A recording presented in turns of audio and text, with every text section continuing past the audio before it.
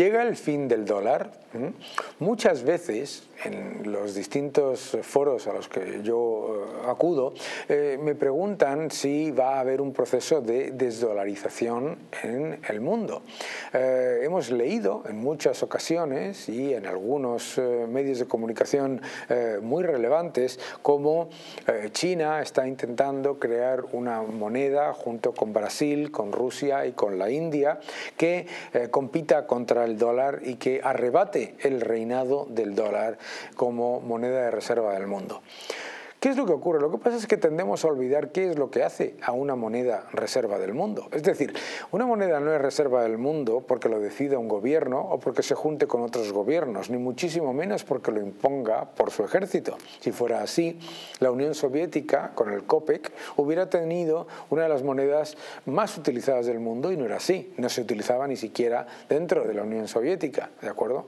Eh, es importante también entender que si fuera por el poderío militar, China habría conseguido que su moneda fuese eh, una de las monedas más utilizadas y sin embargo el yuan chino se utiliza en menos del 4% de las transacciones mundiales.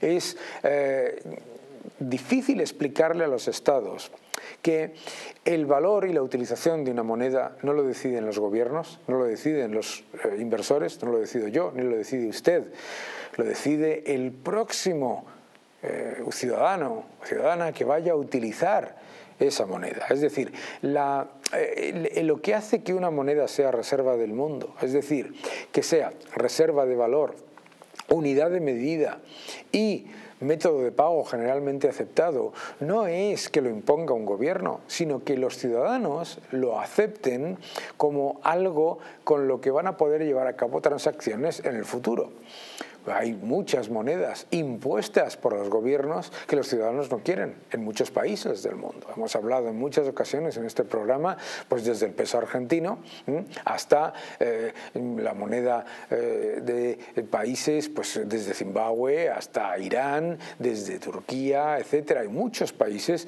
en los que los ciudadanos prefieren eh, hacer transacciones con otras monedas en las que por lo menos sepan que el poder adquisitivo de la moneda moneda se va a mantener. Al final, el dinero no es nada más que, la, que una transmisión, un, reflejo del crédito que tiene la economía.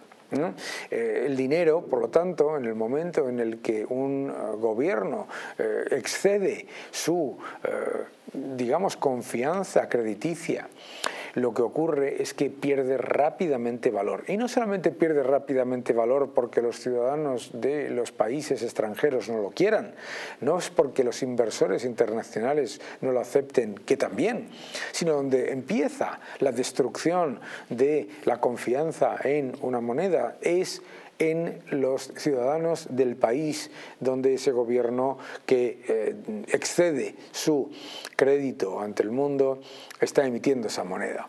Claro, cuando miramos eh, Brasil, Rusia, la India y China, nos encontramos con varios problemas para destronar al dólar. El primero, eh, la moneda de China y la moneda de Rusia tienen control de capitales.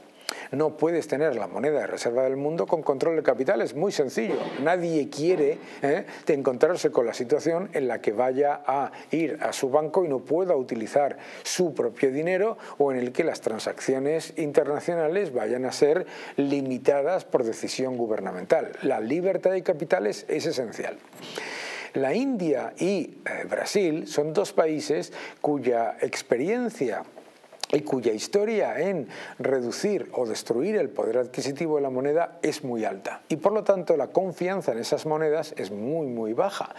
Juntar Brasil, Rusia, India y China la rupia, el eh, rublo, el yuan y, eh, la, eh, y, el, y el real brasileño, lo que no va a hacer es generar más confianza de la que ya tienen en cualquier caso. Los propios ciudadanos de esos países utilizan menos la moneda de sus países que lo que indicaría su potencia dentro de la economía China es un 14-15% del Producto Interior Bruto del mundo y su moneda se utiliza solo en un 4% de las transacciones globales. Ya no os quiero contar el caso de Rusia, el caso de India, el caso de Brasil.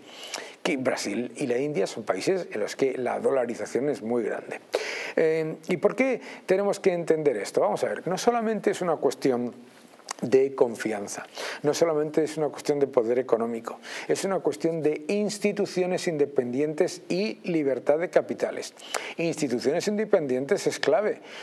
Una de las razones por las que el dólar es moneda de reserva del mundo es porque los ciudadanos del mundo confían en que el Banco Central está desligado del poder político.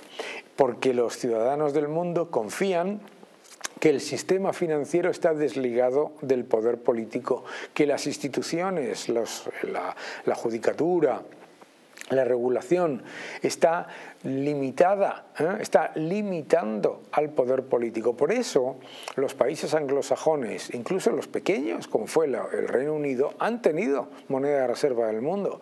La importancia de instituciones independientes. No solamente eso, lo he dicho antes, libertad de capitales. Sin libertad de capitales no hay, no hay moneda de reserva del mundo.